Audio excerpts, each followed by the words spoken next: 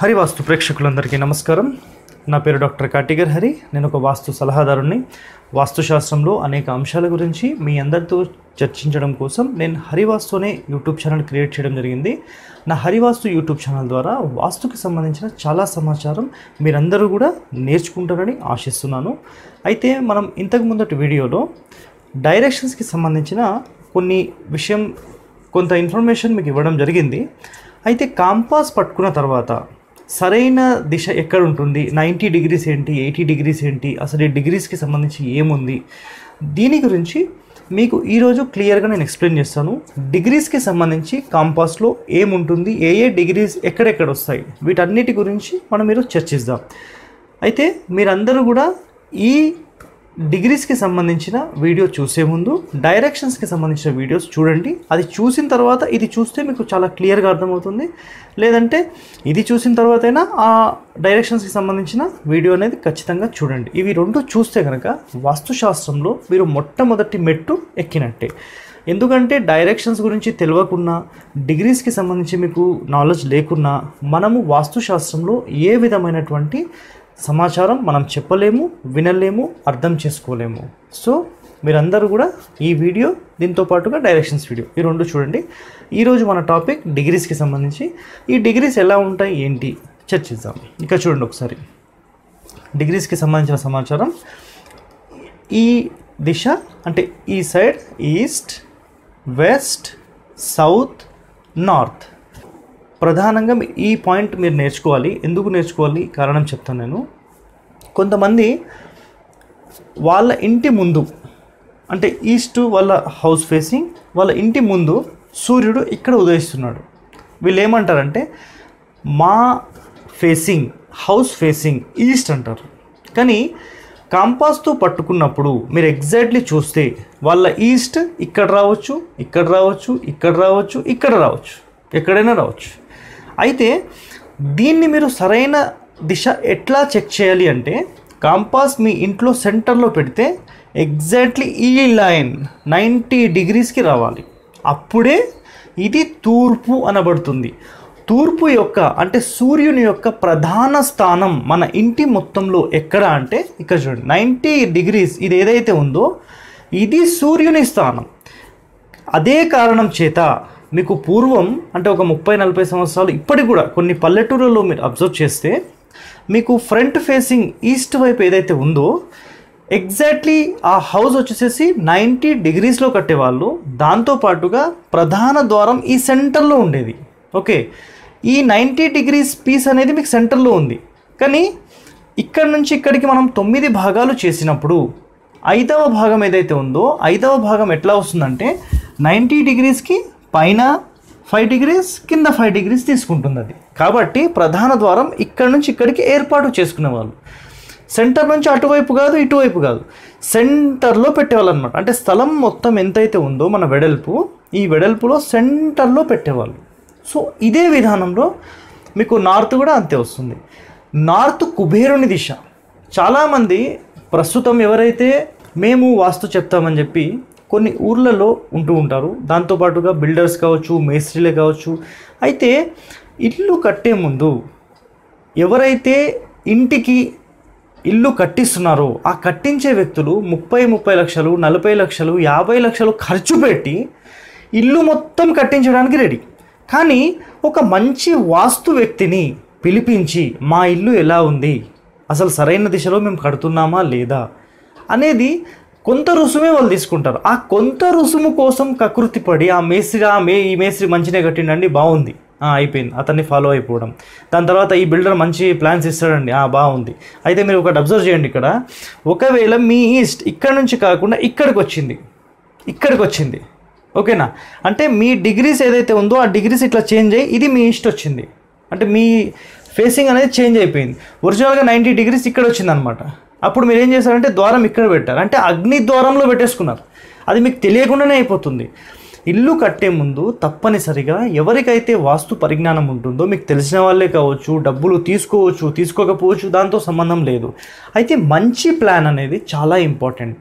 ఈ ప్లానింగ్తో పాటు సరైన స్థానాలలో అన్నీ ఉంటున్నాయా లేదా? ఇవన్నీ కూడా మీరు ఖచ్చితంగా అబ్జర్వ్ చేయాలి మీ ఇంటి కోసం. మీరు యాభై సంవత్సరాలు వంద సంవత్సరాలు ఒక ఇంట్లో ఉంటున్నారంటే ఆ ఇంటికి సంబంధించిన ఏదైనా సమాచారం లేదంటే ఆ ఇంటికి సంబంధించిన వాస్తు కోసం ఒక ఐదు పది వేలు ఖర్చు పెట్టడం. అంటే చిన్న చిన్న రుసుములు ఖర్చు పెట్టి ఈ మంచి ప్లానింగ్ చేసుకుంటే మీ భవిష్యత్తు తరాల కోసం మీకు అది ఉపయోగపడుతుంది. ఒక నాలుగైదు సంవత్సరాల తర్వాత మాకు బాగాలేదండి అని చెప్పి అప్పుడు అనుకొని మీరు మళ్ళీ ఒక వాస్తువాలను పిలిపించుకొని ఇవన్నీ పగలగొట్టి ఒక పది లక్షలు ఖర్చు పెట్టడం అవసరమా?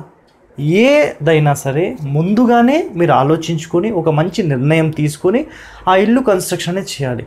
ఒక్క వాస్తు వ్యక్తి కాదు. ఒక బిల్డర్ని తీసుకోండి ఒక మేస్త్రిని తీసుకోండి ఒక వాస్తు సిద్ధాంతిని తీసుకోండి ఒక ముగ్గురు నలుగురు సలహా తీసుకొని సరైన పాయింట్స్ మీరు అర్థం చేసుకోండి. అయితే మేము ఏదైతే మా వీడియోస్ ద్వారా మీకు చెప్తున్నామో అన్ని పర్ఫెక్ట్ ఇన్ఫర్మేషన్ మీకు చెప్పడం జరుగుతుంది. మేము ప్రాక్టికల్లో చూసిన తర్వాతనే మీకు చెప్పడం అనేది జరుగుతుంది.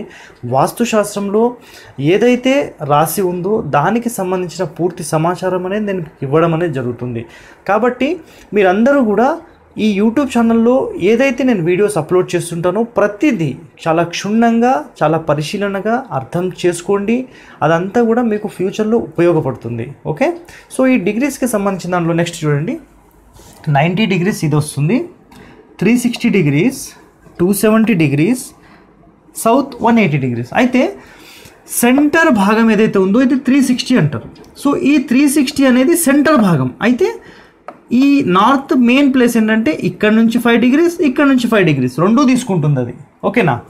సో ఇక్కడ నుంచి ఫైవ్ ఇక్కడ నుంచి ఫైవ్ అప్పుడే ఇదేమవుతుంది? త్రీ సిక్స్టీ డిగ్రీస్ సెంటర్ అవుతుంది. ఇది జీరో డిగ్రీస్ ఇది zero ten twenty thirty forty చూడండి. ఫార్టీ ఫిఫ్టీ అనేది నార్త్ ఈస్ట్ సో మీకు నార్త్ ఈస్ట్లో రెండు అంటే తూర్పు ఉత్తరం కలిసే చోటు. ఈ కలిసే చోటు వచ్చేసేసి మీకు డబల్ ఉంటుందన్నమాట. ఓకేనా? ఇది డబల్ ఉంటుంది. సో దీని తర్వాత చూడండి. ఫార్టీ అయిపోయింది fifty. Sixty sixty degrees seventy degrees eighty degrees ninety degrees hundred degrees one ten degrees one twenty degrees one thirty degrees one forty degrees ఈ రెండు కలిసే చోటు. అంటే తూర్పు దక్షిణం కలిసే చోటుని వన్ థర్టీ ఫైవ్ డిగ్రీస్ అంటారు. Sharp one thirty five degrees. దాని తర్వాత ఇది మొత్తం మీకు ఆగ్నేయం అనమాట next one forty degrees one fifty degrees one sixty degrees one seventy degrees one eighty degrees. So exactly మీ ఇంటి స్థలానికి మధ్యలో నుంచొని మీరు కాంపాస్తో చెక్ చేస్తే ఇది వన్ ఎయిటీ డిగ్రీస్ రావాలి. అట్లా వస్తేనే ఇది కరెక్ట్ దక్షిణం. మీరు సింపుల్ మీరు ఈ సెంటర్లో నిలబడి ఎక్కడైతే మీకు ఎగ్జాక్ట్లీ నైంటీ డిగ్రీస్ చూపిస్తుందో ఆ నైంటీ డిగ్రీసే మీకు తూర్పు అనమాట ఒకవేళ మీరు కంపాస్ పట్టుకున్నప్పుడు మీకు నైంటీ డిగ్రీస్ ఇట్లా చూపిస్తుంది. ఇక్కడ చూడండి ఇట్లా చూపిస్తుంది. అంటే మీరు ఎక్కడ ఉన్నట్టు? ఇక్కడ నైంటీ డిగ్రీస్ ఉంది. అప్పుడు ఏం చేయాలి? ఎయిటీ సెవెంటీ సిక్స్టీ ఫిఫ్టీ ఇట్లా చేంజ్ చేసుకుంటూ రావాలి మీరు. అట్లా చేంజ్ చేసుకుంటేనే ఇది కరెక్ట్ అనమాట మీ ఇష్టం వచ్చినట్టుగా మీరు చేసుకోవడం అనేది తప్పది. సో కాబట్టి ఎప్పుడైనా ఒకటే గుర్తుంచుకోండి. ఇక్కడ కాంపాస్ పెట్టారు. ఒక ఎగ్జాంపుల్ నేను చూపిస్తాను చూడండి. ఇక్కడ కాంపాస్ పెట్టారు. మీకు కరెక్ట్ ఈస్ట్ ఇట్లా వస్తుంది. ఇట్లా వస్తుంది. ఇక్కడ నైంటీ డిగ్రీస్ చూపిస్తుంది. ఒకవేళ ఇక్కడ నైంటీ చూపిస్తే మీ ప్రధాన ద్వారం ఇక్కడ రావాలన్నమాట. మీకు అర్థమైందా? ఇక్కడ ఇది నైంటీ డిగ్రీస్ అవుతుంది అప్పుడు. ఇది నైంటీ డిగ్రీస్ కంపాస్లో చూపిస్తే ఇది నైంటీ అవుతుంది. అప్పుడు ఇది ninety hundred one ten one twenty ఇట్లా చేంజ్ అయిపోతుంది. అప్పుడు మీ దక్షిణం ఎక్కడ వస్తుంది? ఈ డిగ్రీస్ ప్రకారం మీరు చెక్ చేసుకోండి. ఇక్కడ వస్తుంది. దీంట్లో మీరు ప్రధానంగా ఏంటంటే ఉత్తరం వైపు తూర్పు వైపు పడమర వైపు దక్షిణం వైపు. అన్ని చోట్ల కూడా తొమ్మిది భాగాలు చేసుకోవాలి. ఇక్కడ చూడండి. ఒకటో భాగం రెండు మూడు నాలుగు ఐదు ఆరు ఏడు ఎనిమిది తొమ్మిది. మళ్ళీ ఇక్కడ. ఒకటి రెండు మూడు నాలుగు ఐదు ఆరు ఏడు ఎనిమిది తొమ్మిది. తొమ్మిది భాగాలు. మళ్ళీ ఇక్కడ చూడండి. ఒకటి రెండు మూడు నాలుగు ఐదు ఆరు ఏడు ఎనిమిది తొమ్మిది భాగాలు. ఒకటి రెండు మూడు నాలుగు ఐదు ఆరు ఏడు ఎనిమిది తొమ్మిది భాగాలు. సో మొత్తం ముప్పై ఆరు స్థానాలు. ఏ కార్నర్ అయినా మీకు డబల్ ఉంటుంది. ఏ కార్నర్ తీసుకున్నా మీకు డబల్ ఉంటుంది. Okay? Any corner is the double.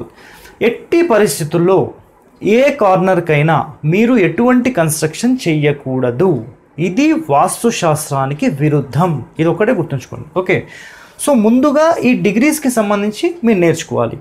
మీరు మీ కాంపాస్ పట్టుకున్నప్పుడు ఒకవేళ ఉత్తరం ఎల్లుంది అనుకుందాం కాంపాస్ పట్టుకున్నప్పుడు మీరు కరెక్ట్ కాంపాస్ పెడితే మీ ఉత్తరం ఇట్లా చూపిస్తుంది.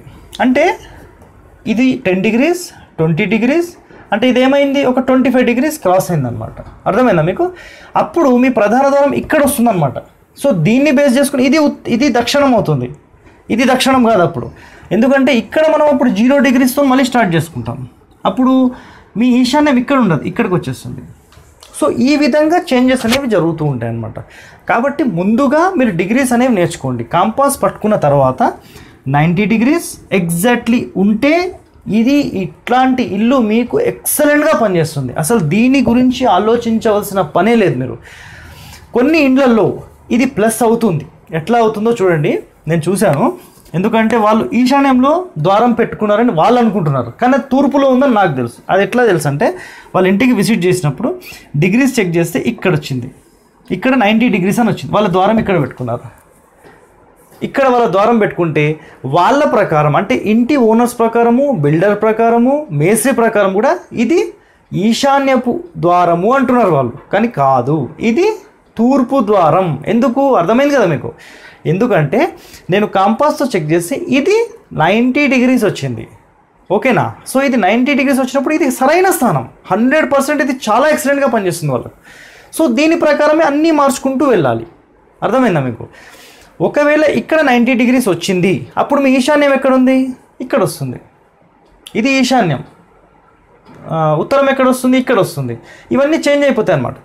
దీన్ని బేస్ చేసుకొని మీ టాయిలెట్స్ కానీ మీ బాత్రూమ్స్ కానీ మీ బెడ్రూమ్స్ కానీ మీ వంటశాల కానీ ఇవన్నీ ఏర్పాటు చేసుకోవాలి.